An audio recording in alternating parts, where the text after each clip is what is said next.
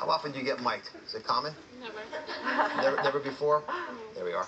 I, I, I don't know where, now, as a doctor, I would not know how to fasten this on you. There's no, there's no place to fasten anything. Where, where am I gonna fasten it?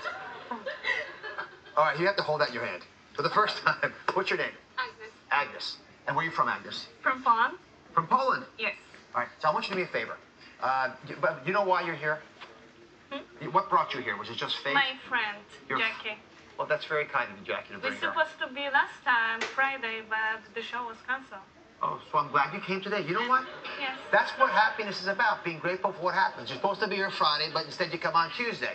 And a lot of times people to express their love will find an opportunity to do it in very cool ways. So one of your loved ones, uh, someone who cares about you, has actually drafted a little note, I understand. See if you can recognize this voice.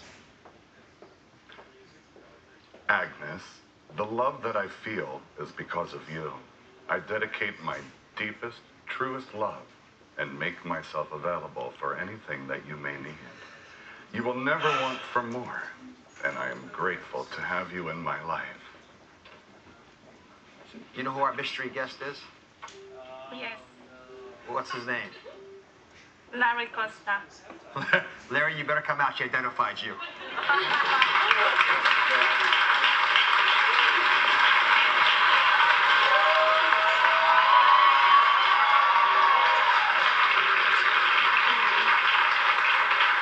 This is for you. Thank you. Yeah.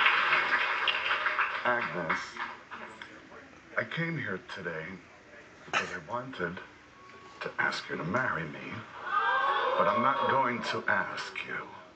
I'm going to beg you.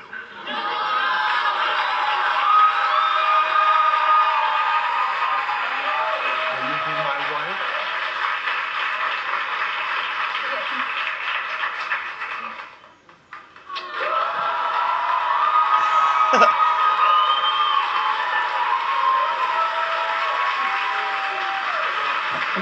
And she didn't even see the ring yet.